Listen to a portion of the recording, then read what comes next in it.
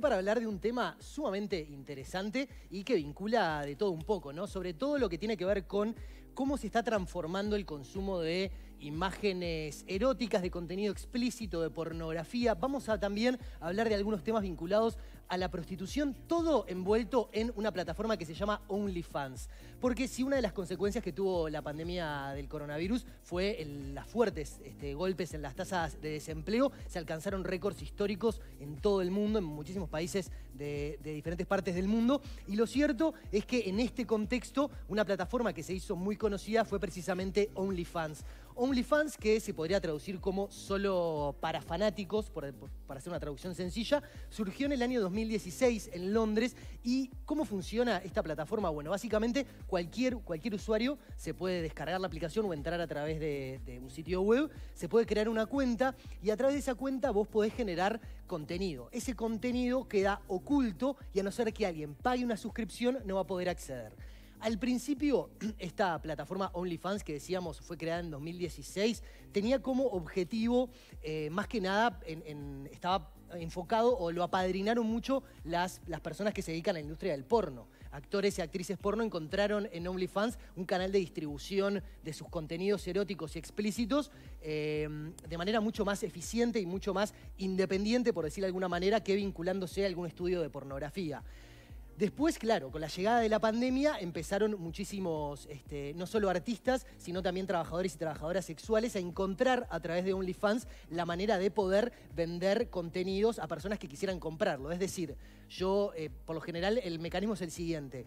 Una figura, puede ser del mundo de la pornografía o no, eh, se, saca fotos no tan explícitas que las comparten en sus cuentas de Twitter o de Instagram y ahí dicen, querés ver más, querés conocer más, querés este, acceder a más contenido exclusivo y ahí sí, mucho más explícito en materia de, contenido este, sexual o no pues pagás una suscripción que puede costar entre 1 y 7 dólares y accedes a todos los videos, 1 a 7 dólares a nivel mensual.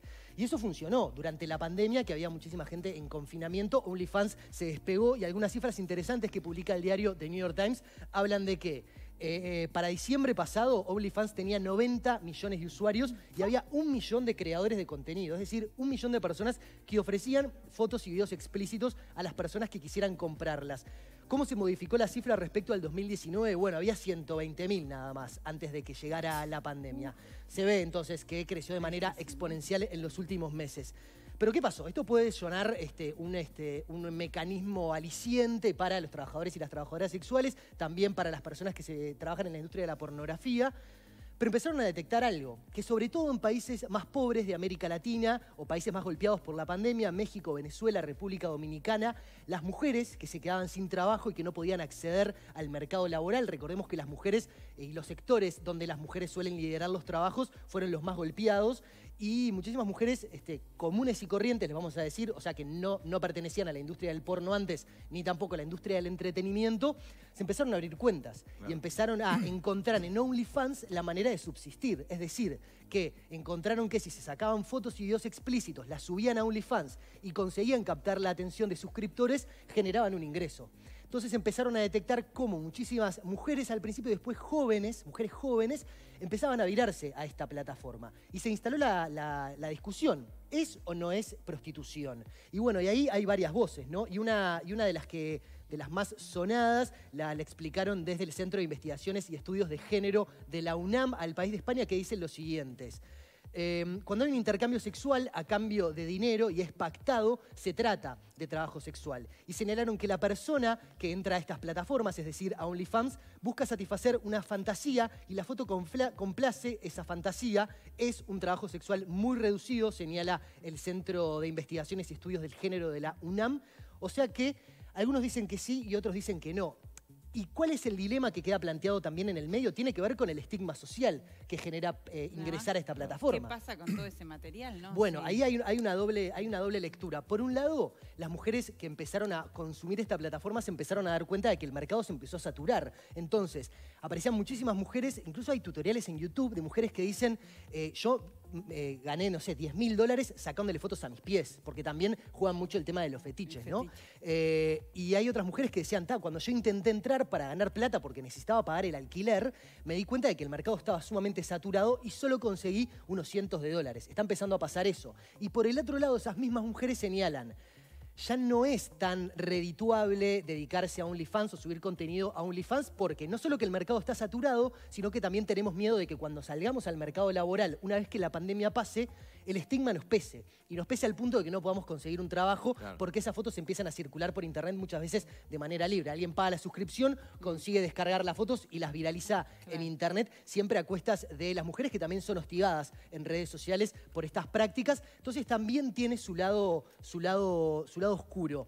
Y decíamos, ¿no? De cómo pesa ese estigma sobre la discusión de es o no prostitución. Y algunos especialistas señalaban, señalaban que es difícil para las personas involucradas admitir que de alguna manera se están dedicando a la prostitución porque la sociedad piensa que es algo malo, que no está reconocido como un trabajo y quienes se dedican al rubro claramente cargan con, con ese estigma público la situación queda ahora planteada también en, bueno, cuál es el futuro de este tipo de contenidos, ¿no? Si cada vez nos estamos también acostumbrando más en Internet a eh, la sexualización de los cuerpos y cómo eso también impacta a largo plazo, sobre todo en los jóvenes que van creciendo, eh, alimentándose como de esas imágenes, que no necesariamente después se tienen una correlación directa con lo que pasa en la vida real, por decirle de alguna manera. ¿no? Ahora, estamos hablando del tema de, las redes o una plataforma. Eh, también antes estaban las revistas, que ibas y las comprabas, y las consumías. También, ibas y alquilabas en la película, no sea... Esto de alguna manera es un nuevo formato de consumo. Hablo por el tema del consumo, hablando de los jóvenes y demás que, tienen cada vez más información. digo, el acceso... Sí, y también hay que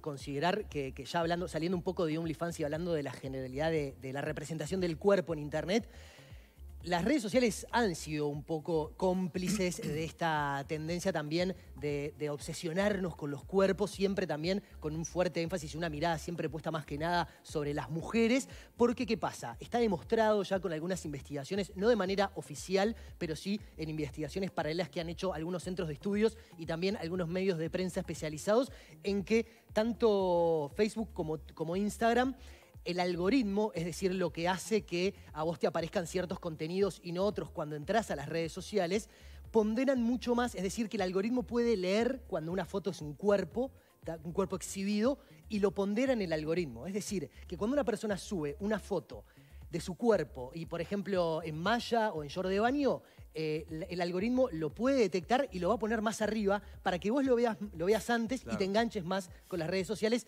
y esos posteos generen más interacción. Por lo general en las redes sociales lo que rinde más es la comida, las mascotas y los cuerpos. el tema, perdón. Claro, no, imagino también de que, de que hay muchas eh, personas y gente que, que entra por el el novelismo de decir, bueno, la quiero, curiosidad, que me parece sumamente genuina también. No, ¿no? por, por, por, el tema explícito de decir, bueno, quiero quiero este, ganar dinero, quiero. No, es por prueba. Obvio. Da la impresión de que al principio también debe haber mucho Debe haber muchísimo de eso. Lo que parece más peligroso en este caso, a diferencia de las revistas, cuando una modelo va o, una actriz porno va, es el tema de las edades, ¿no? Porque, porque hay un acceso en el que para menores de edad es como nadie lo puede comprobar. Porque vos tenés que poner tu fecha de nacimiento, pero Pero podés mentir, es un poco lo que está pasando. Creo que un poco nos dimos cuenta todos, por lo menos en Uruguay, un poco nos concientizamos de los peligros y las dificultades que esto tiene con las menores de edad y los menores de edad, con el caso de la Operación Océano, ¿no? Que, es también uno de los, este, uno de los casos paradigmáticos vinculados a la prostitución y la explotación y, el abuso, más que nada, de menores de edad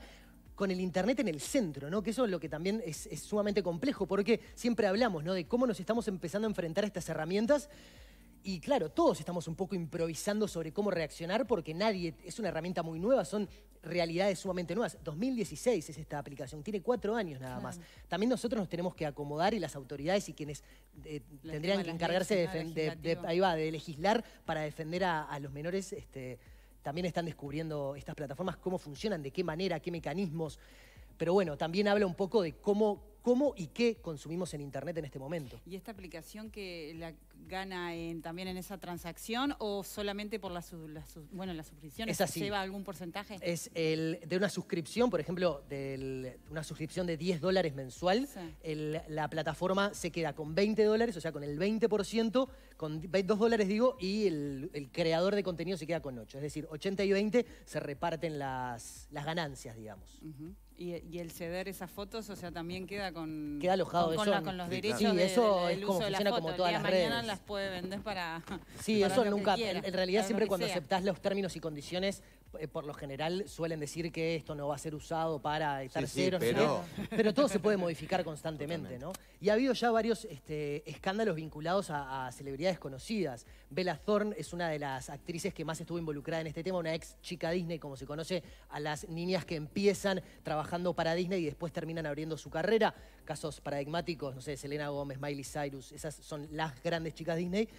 Bella Thorne es una chica Disney menos conocida o de estas nuevas generaciones que al principio empezó haciendo series, después se abrió un canal en OnlyFans y le cayeron con todo. Y ahora le está costando un montón conseguir este, pactar en papeles y demás, porque también les pasa eso a las, a las actrices que intentan explorar el porno como un género cinematográfico y terminan encontrándose con que el estigma termina marcándolas para toda la vida. Bueno, hay actrices en toda la época también de Hollywood y todo que han sido campaña de las revistas de Playboy y todas las, otras que han hecho desnudo también por, les han pagado por, por salir desnudo, tal cual, ¿no? tal este, cual.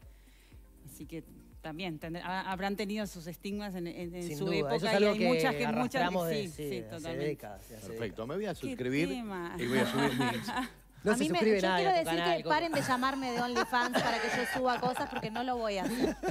No, a ver, repetimos, remarcamos esto, ¿no? Que siempre me parece importante. Cada uno hace lo la que libertad, quiere, lo que puede, lo que logra hacer. El tema es, eh, hablamos como dijo Lulo, del tema de los menores. exacto. Porque cuando uno es adulto, bueno, tiene la responsabilidad. No, y uno también como consumidor hacerse cargo también, ¿no? De la parte que, le toca. Si elegís consumir eh, en OnlyFans, tiene que haber también cierta responsabilidad y cuidado como consumidor, ¿no? Es algo para que vos haces porque tenés X fantasía, que la, querés este, solucionar o querés canalizarla a través del consumo de OnlyFans. Dos adultos, consenso, eso siempre está arriba de la mesa. Después, de ahí a tomar capturas de pantalla de las fotos que, a las que te suscribas, viralizarlas y hacerle la vida imposible a, la mujer a la, que, a la que te suscribiste en su canal, esa es otra realidad completamente distinta. Y es triste, digo, si uno lo elige estar ahí por elección, porque le divierte, porque como vos decís, canalizar eh, cosas que te gusta hacerlo, Te gusta hacerlo, pero otros por necesidad que no tengas Y ahí también es más jodido, ¿no? También habla, refleja una realidad que excede completamente a OnlyFans y habla de una crisis en la que las mujeres están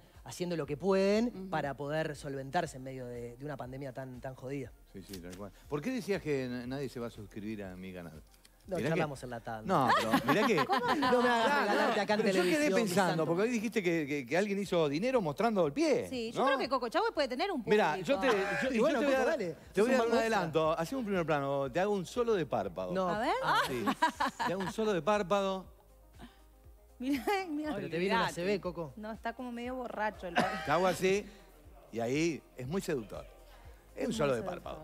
Solo de párpado. Es muy seductor. ¿Hay alguien más en el mundo que haga eso? No, no, nadie. el primero? Ah, ya está. Bueno, le quedan muy lindos los lentes, ¿eh? Se los lleva, se los lleva. Haga Ruiz de la Prada. Gracias, Paco. Gracias a ustedes. No, a la pausa.